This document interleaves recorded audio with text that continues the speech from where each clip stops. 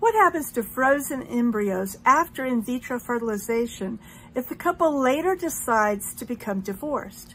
My name is Laura Heard, and I am a family law attorney in San Antonio, Texas.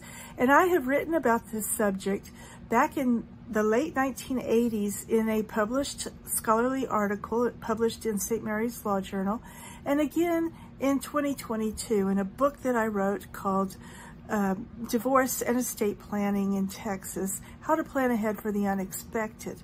But in the case of a frozen embryo, would it be considered contract law, property law, or child custody law?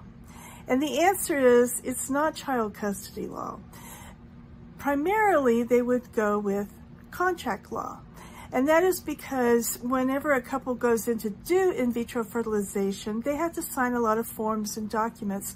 And those documents should address the situation of what to do with stored embryos that are not used after um, the procedure upon divorce or if the parties can no longer agree.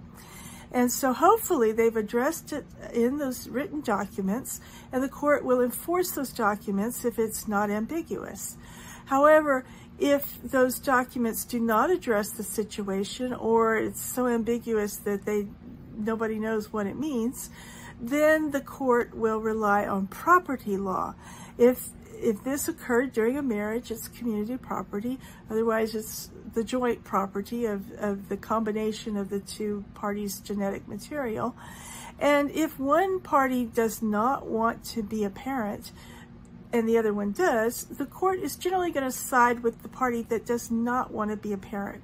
So they would award the, the embryo to that parent and that parent could then um, destroy the property or they could continue to keep it in storage indefinitely as long as they pay the fee. But the, the um, bottom line is it's something that really needs to be discussed while the couple still gets along before it comes up in divorce or upon the death of one of the parties.